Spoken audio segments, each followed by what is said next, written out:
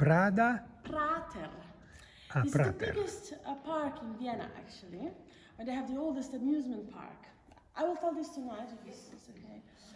And um, yes, we love to go uh, for a walk there, and I was always amused how uh, the sounds of nature and birds and, and rustling of the tree leaves combines with uh, city noises like ambulance and people talking and um, other stuff as well. So this is a piece I wrote, actually the first piece for, uh, for Multicello, which is how I call this constellation. And um, everything is performed live. So, let's see. Hmm. Let's see if it is a good setup. The pre-recorded cello you perf- you recorded recorded some. in the in the park. Uh, oh no, no. No. Everything will be played live now. Huh.